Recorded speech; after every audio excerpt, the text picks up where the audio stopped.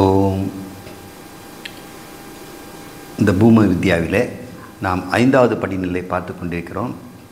நாரதர் இதுவரை மனம் சங்கல்பம் இரண்டையும் கடந்து அதற்கும் நுட்பமானது இருக்கிறதா என்று தான் நான்கை தாண்டி வந்து நிற்கிறார். அதுக்கு நம்முடைய சனத்குமார் சொல்கிறார் இருக்கு சித்தம் தான் சங்கல்பத்தை காட்டிலும் மேலானது. உயர்வான காரணம் வியாபகம் உடையது பிரம்மத்துக்கு அருகானது நிறைந்த பலனுடையது என்று ஐந்து காரணங்களை சொல்லி அதை நாம் அதை நினைவு வச்சுக்கோங்க எப்பொழுது. எப்படி சித்தம்னா என்னன்னு பார்ப்போம். அதுக்குண்டான மந்திரம் என்ன? சித்தம் எப்படி? சங்கல்பத்தை விட உயர்வானது என்று பார்ப்போம். சித்தம் வாவ சங்கல்பாத் பூயோ. இதே மந்திரம் தான் திரும்பி திரும்பி வரும். உன்ன வாச்சோ வாவ அப்படின்னு சொல்லி தான் மனஹ பூய அப்படின்னு. இப்போது சங்கல்பாத் சங்கல்பத்தை விட பூயோ மேலானது சித்தம் பாவ சித்தம் தான் உண்மையிலேயே அப்படின்னு பிரித்து போட்டுப்போம். சித்தம் தான் சங்கல்பாத் சங்கல்பத்தை விட பூயக. எப்பொழுது ஒருவன் அறிகிறானோ அதை யதா வை சேதயதே அத்தகனா பிறகு யதா எப்பொழுது சேதயதே சேத்தம்னா சேத்தனம்னா அறிவு. சேதயதே என்றால் ஒருவன் அறிந்து கொள்கிறானோ அப்பொழுதுதான் சங்கல்பம் உண்டாகிறது. சங்கல்பயதே அறிவில்லாமல் சங்கல்பம் வருமா? ஒரு நல்ல ஒரு கேள்வி. நான் வந்து இதை இந்த வீடை கட்டி முடிப்பேன். இந்த கோர்ஸை இந்த இந்த இந்த பாடத்தை படித்து இந்த டிகிரி வாங்குவேன் என்று சங்கல்பிக்கிறான் முடிவெடுக்கிறான். எப்போ முடிவெடுப்பான்? அதை பற்றி அறிவு வந்தவர் தான் முடிவு முடிவெடுப்பான் அப்போ சேத்தனம் இருக்கணும் சித்தம் இருக்கணும். சித்தம்னா இப்போ இங்கே அறிவு. அதை பற்றி நாலஞ்சு பாம்ப்ளெட் வாங்கி பார்க்குறான். நாலஞ்சு கல்லூரியில் போய் பார்க்குறான். இந்த கோர்ஸ் அவங்ககிட்ட கேட்டு பார்க்குறாங்க. இன்டர்நெட்டில் போயிட்டு இந்த கோர்ஸுக்கு என்னென்ன வேலை கிடைக்குதுன்னு பார்க்குறான். இந்த கோர்ஸில் என்னென்ன படிச்சுக்க முடியும்னு பார்க்குறான். இத்தனையும் அறிந்து அதன் பிறகே இந்த படிப்பை நான் படிப்பேன். நான் பல் டாக்டர் ஆவேன். நான் நரம்பியல் வல்லுநர் ஆவேன் நான் ஒரு சைக்கியாட்ரிஸ்ட் ஆவேன். நான் ஒரு இன்ஜினியர் ஆவேன். நான் ஒரு நேனோ டெக்னாலஜி ஆவேன் அப்படின்னா வந்து சங்கல்பிக்கும் முன்னே அதை பற்றி அறிவு இருக்கிறது. அறிவில்லாமல் ஒருத்தன் திடீர்னு ஒன்று சங்கல்பித்து ஒன்றும் போகிறதில்ல எனவே அறிவுதான் சங்கல்பத்திற்கு மேலானதாக இருக்கிறது என்று சொல்கிறார் எப்பொழுது ஒன்று நன்றாக அறியப்படுகிறதோ பாருங்கள் நான் ராமர் கோயிலுக்கு போவேன் அப்படின்னா ராமர் பற்றி தெரியாமல் நான் போக முடியுமா? நிறைய பேர் அப்படி தெரியாமல் போகிறாங்க ஏதோ ஒரு சங்கல்பத்தில் போயிடுறாங்க. அதனால் என்ன பலன் கிடைக்குது? இல்லை. அறிந்து செய்யும் பொழுது இன்னும் நிறைய பலன் கிடைக்கிறது. அதனால் அறிவு தான் முக்கியம். அதனால் எப்பொழுது அறியப்படுகிறதோ சேதையதே அதக அதன் பிறகுதான் சங்கல்பேதை அவன் சங்கல்பிக்கிறான். சங்கல்பத்துக்கு முன்னாடி சித்தம் வர வேண்டும். அத மனசியத்தியத அதுக்கப்புறம் அறிந்த பிறகு சங்கல்பிக்கிறான். அப்போ மனம் அதை வந்து நாடுகிறது. அதுக்கப்புறம் வாச்சாம் ஈரையதி அதை பற்றி பேச ஆரம்பிக்கிறான். தாம் நாம் நீரதி அதுக்கப்புறம் தான் விஷயங்களை அவன் சேகரிக்கிறான். அதுக்கப்புறம்தான் மந்திரங்கள் ஓதப்படுகிறது. இப்படின்னு மந்திரத்துக்கு போயிடுறார். நாம் வந்து கோர்ஸ் படிக்க போயிட்டோம். ஒருத்தன் வந்து ஒரு கர்மத்தை செய்யணும்னு வைங்க. யஜ்யம் செய்யணும். புத்திர காமேஷ்டி யஜ்யம். அல்லது விருஷ்ணி யஜ்யம். மழை பெய்யணும்னு யஜ்யம் பண்ணுறான் அந்த யஜ்யம் பண்ணுறதுக்கு கர்மம் வேணும். அந்த கர்மம் செய்யணும்னு சொன்னால் மந்திரம் தெரிஞ்சிருக்கணும். மந்திரம் தெரிஞ்சிருக்கணும்னா அதுக்கு மனம் இருக்கணும். வாக்கு வேணும். வாக்கு இருக்கணும்னா மனம் வேணும். மனம் வேணும்னா சங்கல்பம் இருக்கணும். சங்கல்பம் இருக்கணும்னா அறிவு இருக்கணும். அப்போது இந்த விருஷ்ணி யஜ்யம்னு சொல்லக்கூடிய மழை யஜ்யத்துக்கு வேணுன்ற அறிவு இருந்தால்தான் அது சங்கல்பமாகி மனதில் புகுந்து வாக்காக மந்திரம் செய்து கர்மங்களால் விஷயங்களை பயன்படுத்தி எல்லாம் நடக்கும் அப்படின்னு சித்தத்தை கொண்டு போய் பிரம்மத்துக்கு வைக்கிறார். மந்த்ரா ஏகம் பவந்தி மந்திரேஷு கர்மாணி என்று போகிறது. சித்தமானது சங்கல்பத்தை காட்டிலும் மேலானது. எப்பொழுது சித்தம் என்பது அறிகிறதோ மனம் அதை சங்கல்பிக்கிறது. பிறகு அதன் மீது ஆசை பிறக்கிறது. பிறகு வாக்கு செல்கிறது. வாக்கு செல்ல இடத்துல மந்திரம் வெளிப்படுகிறது. மந்திர சப்தங்களால் ஐக்கியமாகி மந்திரங்கள் கர்மத்தில் ஈடுபடுகின்றன. பிறகு கர்மத்தினால் ஏதோ கிடைக்கிறது லாபம் லாபம். சங்கல்பம் மனம் வாக்கு அதற்கப்புறம் விஷயங்கள் அதான் நாம நாம ரூபங்கள் இவை அனைத்தும் சித்தத்தில் சென்று தான் ஒடுங்குகின்றன சித்தைவே அயனானி. ஏன்னா எல்லாம் மறந்தனோடனே சித்தத்துக்கு தான் ஞாபக சக்தியில் போய் மறைகிறது. சித்தத்தில் இருந்தால் மறுபடியும் வெளிப்படுகிறது. சித்தத்திலிருந்து தோன்றி அதில் மறைகிறது. சித்தங்களையே காரணமாக கொண்டுள்ளன. ஏன் இதெல்லாம் செய்கிறேன்னா அவன் அறிவு அப்படிப்பட்டது என்று அது காரணம் தான் காரணம். பல விஷயங்களை அறிந்திருந்தும் ஒரு கால வரவற்றை சரியாக புரிந்து கொள்ளாதிருந்தால் இருந்தென்ன இல்லாதிருந்தென்ன என்று ஞானிகள் அவரை இவ்விதம் கூறுகிறார்கள். அவன் அது புரிஞ்சிக்கவே இல்லைப்பா. அவன் வெறும் உளறிக்கிட்டே இருக்கிறான். பேசிக்கிட்டே இருக்கிறான் மந்திரம் பண்ணுறான் காரணம். அவன் புரிஞ்சிக்காமல் செய்கிறான் அப்படின்னு தானே சொல்லுவாங்க. அப்போது ஒருவனு காரணத்துக்கும் மந்திரத்துக்கும் எல்லாவற்றுக்குமே அறிவு முக்கியமாக இருக்கிறது என்று ஞானிகள் அவரை சொல்லுகிறார்களே என்று சனத்குமார் சொல்கிறார் அது சித்தத்துக்கு ரொம்ப சப்போர்ட்டாக பேசுகிறார் எல்லாம் கற்றிருந்தும் இவன் எங்கனம் வித்வான் ஆவான்? ஒன்றும் புரிஞ்சிக்கவே இல்லையே. அசித்தனாக இல்லாத ஒருவன் சித்தன்னா எப்படி அசித்தனாக இல்லாத ஒருவன் உண்மையில் குறைவாக அறிந்திருந்தாலும் சரியாக புரிந்து கொண்டவராக இருந்தால் அவரிடமே சீடர்கள் கற்றுக்கொள்ள விரும்புவார்கள். ஒருத்தன்கிட்ட நிறைய படிச்சிருக்கிறான் ஆனால் புரிஞ்சிக்கல. ஆனால் ஒருத்தன் கொஞ்சம் தான் படிச்சிருக்கிறான் நல்லா புரிஞ்சிருக்கிறான்னா அவங்ககிட்ட தான் மாணவர்கள் போவாங்க. அதான் சுஷ்ருதே என்று சொல்கிறார் அப்போது அத்வைத வேதாந்தம் தான் ஒரு விஷயம். அவருக்கு அது மட்டும் தாங்க தெரியும். அவருக்கு மெடிசின் பற்றி தெரியாது. வானசாஸ்திரம் தெரியாது.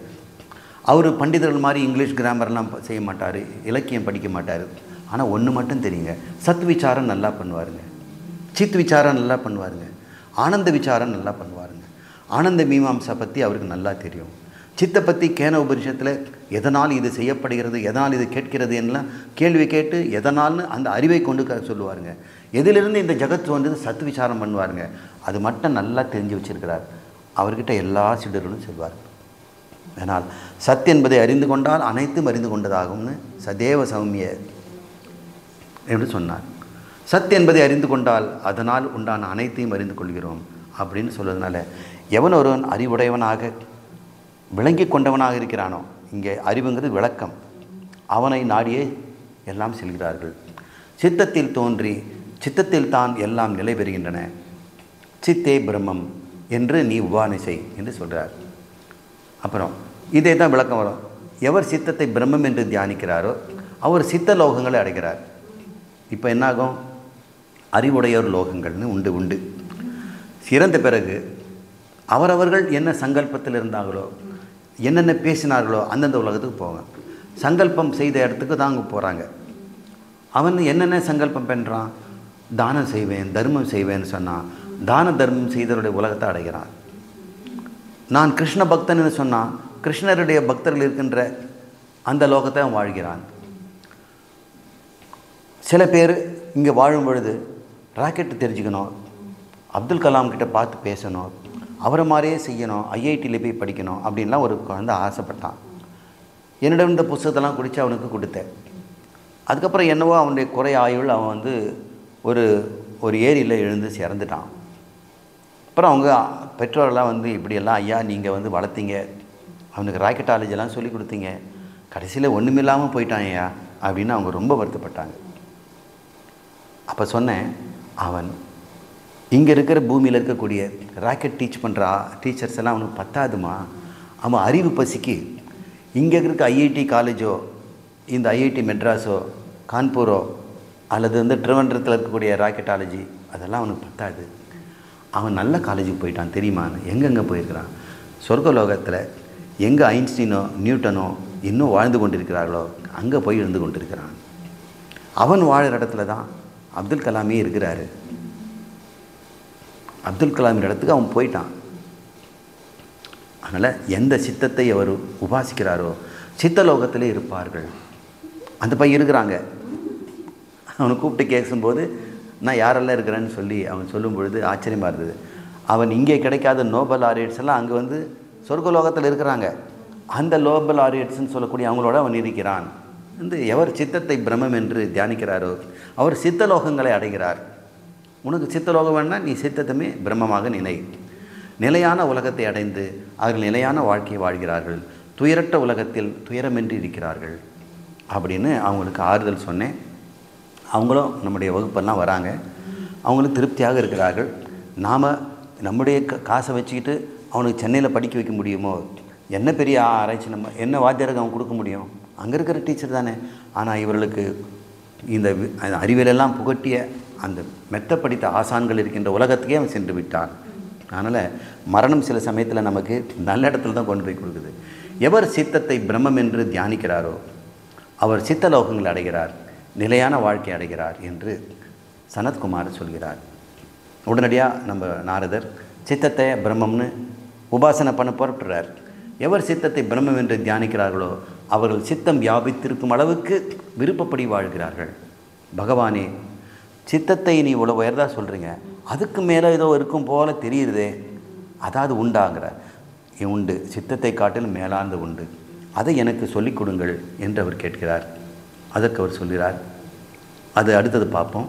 சித்தம் அனுகூலமான சூழ்நிலைகளை நினைவில் வைத்துக்கொள்ளும் என்று சங்கர சொல்கிறார் உன்னுடைய சித்தம்ங்கிறது என்னன்னா நீ எவ்வளவோ அறிஞ்சு கொண்டிருக்கிற. ஆனால் உன்னுடைய வாழ்க்கைக்கு எதெல்லாம் பயன்படுமோ அதுதான் உன் மனசில் பதியும். கவைக்கு உதவாததெல்லாம் நமக்கு கல்லூரியில் சொல்லித்தராங்க அவன் எக்ஸாம் எழுதும்போது எல்லாத்தையும் ஃபெயில் ஆகிட்டு வரான். ஏன்னா அவன் வாழ்க்கைக்கு அப்ளிகேஷனே இல்லை. அவன் மேத்ஸ் படிக்கிறான். அவன் கேட்குறான் இதெல்லாம் படித்து எனக்கு என்ன வாழ்க்கையில் அன்றாட வாழ்க்கைக்கு சைக்கிள் ஓட்ட உதவுமா? உலகத்தில் போட்டி போட்டுட்டு பிஸ்னஸ் பண்ண முடியுமா?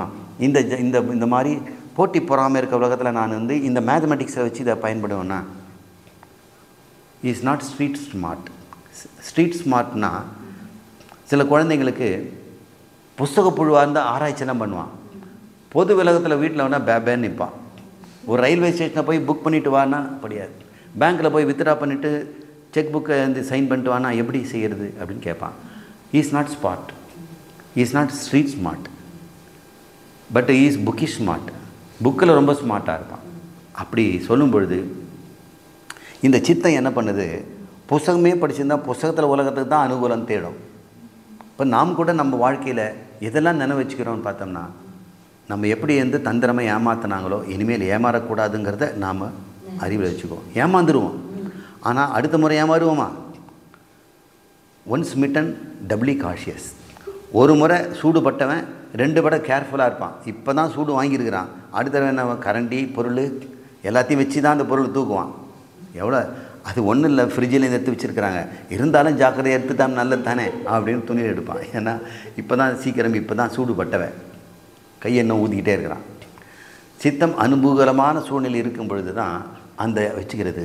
அந்த அனுகூலமான சூழ்நிலைகள் இருக்கக்கூடியதை அது பதிவு செய்து கொள்கிறது அப்படின்னு சொல்லுது. பிராப்த கால அனுகூல போதத்துவம். பிராப்த காலம்னா ஒன்றை அடைகின்ற பொழுது அதில் என்னெல்லாம் அனுகூலமோ இன்றைக்கி முழுக்க நீங்கள் வாழ்ந்தீங்க.